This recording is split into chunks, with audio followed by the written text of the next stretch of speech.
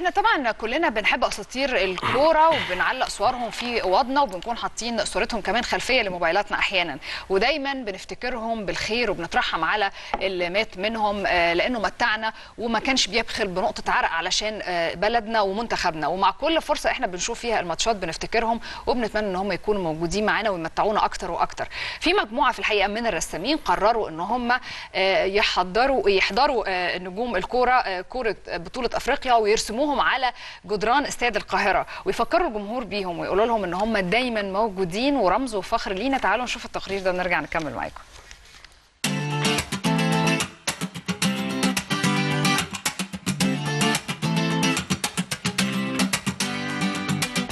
أحمد رياض ومحمود عبد الوهاب اتنين من رسامين الكاريكاتير الشباب انتشرت رسوماتهم في استاد القاهرة أثناء بطولة الأمم الإفريقية من خلال رسم ضيوف مصر بهدف إسعادهم أثناء مشاركتهم في البطولة بحيث لا تتعدى مدة رسم البورتريه الواحد الثلاث دقايق. أنا فخور جدا إن أنا شفت آه، آه، يعني البطولة بالشكل ده أو الاحتفالية بالشكل ده. فشركة برزنتيشن جابتنا آه، عشان خاطر نعمل دعاية وإعلان نرسم الناس اللي موجودة ال VIP اللي موجودين في في الاستاد وهم بيتفرجوا على الماتش.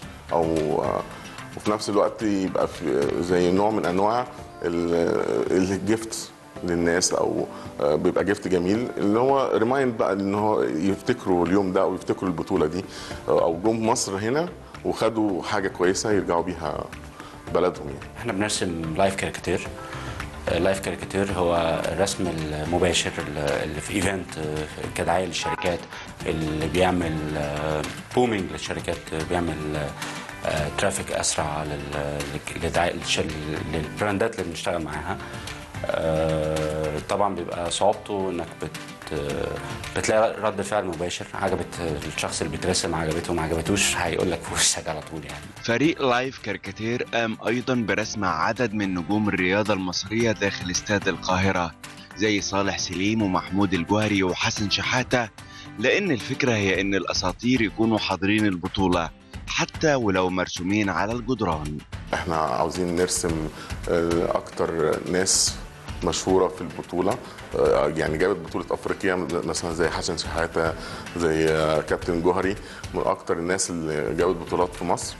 فعرض علينا إن إحنا نبتدي نرسمهم على آه، في الحيطان بتاعة الاستاد. فابتدينا نشتغل والحمد لله يعني الموضوع جاب سيت كويس جدا والفكرة نجحت.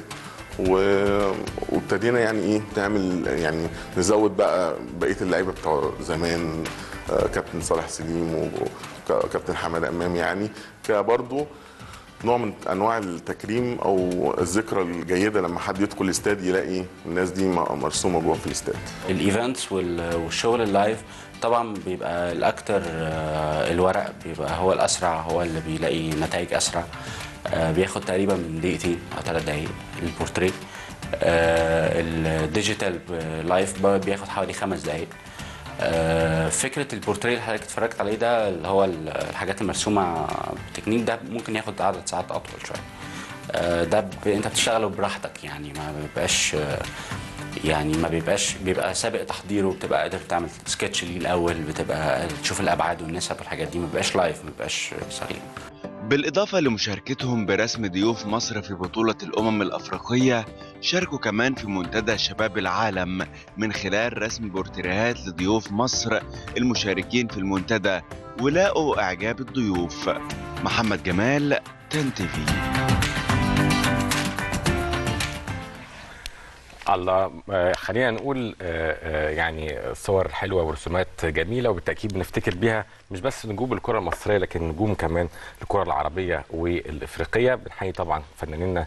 الفكرة حلوة الفكرة يعني حلوة الفكرة جدا حلوة جدا أكيد بتدي روح. مختلفة بالظبط. بالظبط. يعني وتفتكر نجوم كمان في أثناء حتى منهم من رحل كمان ربنا يرحمهم جميعا وانت في حدث كبير طبعا مفيش أعظم من انت برضو تفتكري نجومك السابقين وعلى فكرة هي ليها بالجميل يعني بالظبط هي ليها تأثير كمان على الجمهور إن هي هتحمسه أكتر وبالنسبة للاعبين هي ملهمة ليهم أثناء اللعب. يعني دايما هتبقى عينيهم بتقع على الرسوم الحلوة دي لأساطير الكورة يعني. طبعا.